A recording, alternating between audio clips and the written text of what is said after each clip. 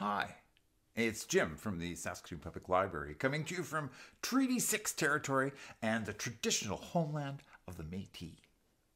Uh, today I'm going to do a story time that just really about a bunch of animals, maybe our relationship to animals.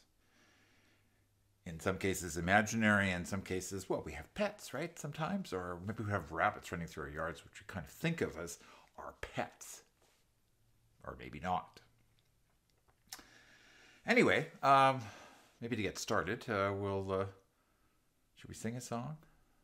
Why not? Here we go. Are you ready? Hello, friends. Hello, friends.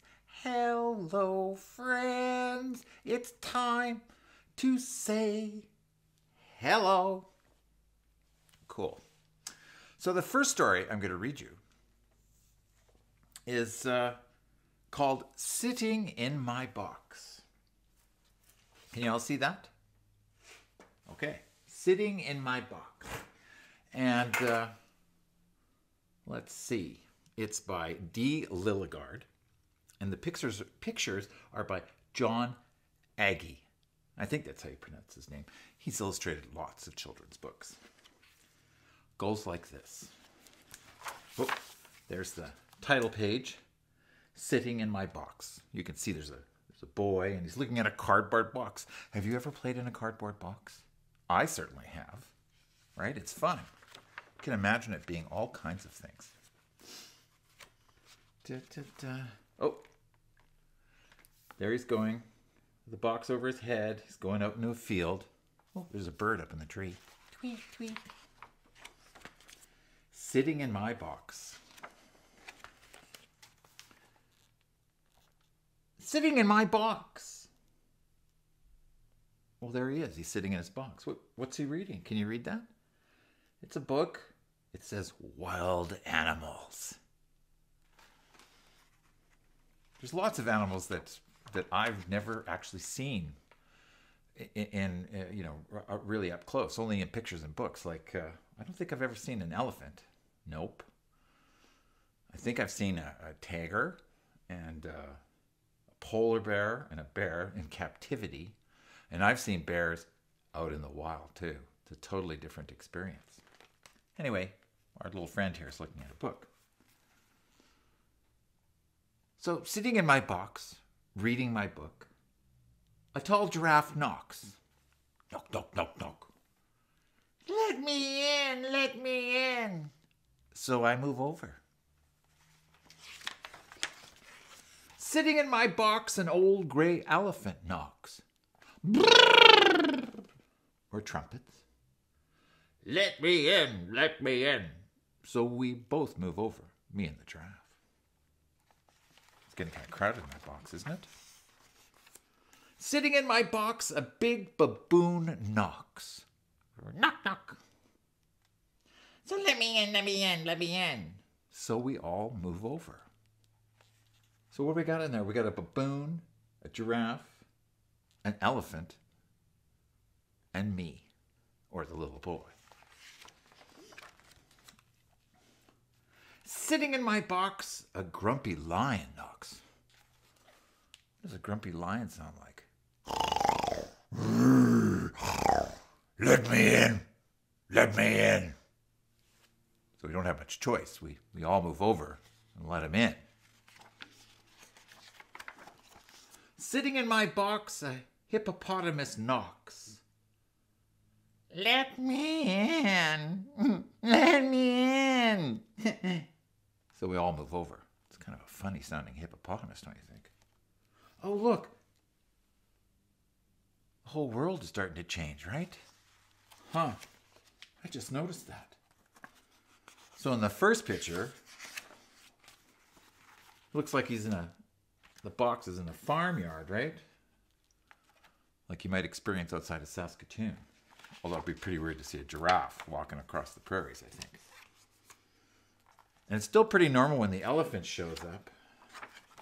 But then things start to happen when that baboon shows up. Uh, the trees start getting vines on them, and, and, and, and tropical uh, ferns and things like that start happening. And then, whoa, when the lion shows up, it's it's pretty much gone all jungle, right? Huh. Same with the hippo. Well, that now suddenly there's a there's a big sort of mud bath for the hippo. Huh. Oh, here's a view inside the box. Standing in my box, there's no room to sit. Wait a minute, this box has too much in it. Would you? I, I kind of agree, right? There's a lot of animals in that cardboard box. Someone has to go, says the little boy. Not me. Said the elephant. Not me. Said the giraffe. Not me, says the lion. Not me. Says the baboon. And not me. Says the hippopotamus. So what are they going to do? So there they are, all sitting in, in my box. When along comes a flea, a flea never knocks. He just jumps right in. You know, little fleas are about this big, and they, what do they do? Do you know what fleas do? If you've ever had a dog, you know that they bite. He bites the hippo and the grumpy lion. Rawr, rawr. Oh dear, oh dear, oh dear. He bites the baboon and the old gray elephant.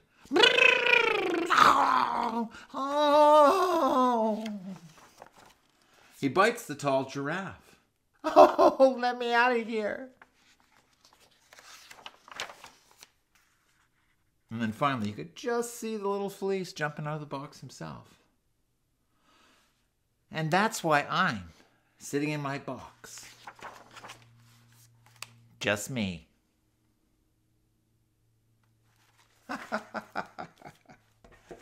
What'd you think of Sitting in My Box? Uh, by Dee Lillegard, and the illustrations are by Jon Agee. I kind of like that one. What about you? Yeah? Do you think well, where do you think all of the animals came from? And then, and then, then it started turning into a jungle and stuff. Huh. Anyway, cool. So next up, I'm going to read you the story Dog Blue. And it's all about a boy who finds himself a pet. And it's by Polly Dunbar. And it goes like this. But wait a minute. I, if we're going to do a story about getting a pet dog, there's a song we could sing and I'm sure you know it. It's, you know, how much is that doggy in the window? Okay? Well, sing along if you know it. And make the dog noises if you don't. Okay, here we go. How much is that doggy in the window? Ruff, ruff. The one with the scraggly tail. How much is that doggy in the window? Ruff, ruff. I do hope that doggy's for sale. I'm gonna take a trip to California and leave my sweetheart alone. If she had a dog, she wouldn't be lonesome, and that doggy would have a good home. Okay, get ready for the big chorus, the big ending. Here we go. How much is that doggy in the window? The one with the scraggly tail. How much is that doggy in the window? Ruff, ruff. I do hope that doggy's for sale. That's a good song. It's really old. So now, I'm going to read you Dog Blue by Polly Dunbar. Are you ready? Here we go. Bertie loved blue. He had a blue sweater, a blue dog collar, uh, blue shoes, but no blue dog. Mm-mm. What Bertie wanted more than anything else in the entire world was a blue dog. So Bertie pretended that he had a blue dog. He, he patted his blue dog. And he fed his pretend blue dog. And he took his pretend blue dog for a walk. And then he'd throw a stick for the pretend blue dog.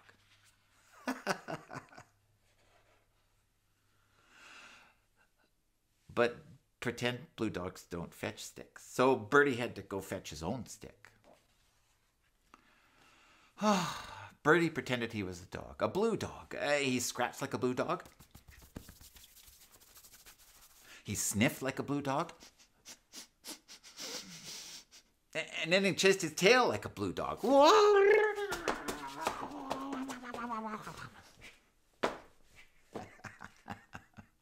That's what you do when you have a blue dog, right? Or when you are a blue dog. I guess so. And then Bertie would yap like a blue dog. Yip! Yip, yip, yip, yip. Yip, yip, yip.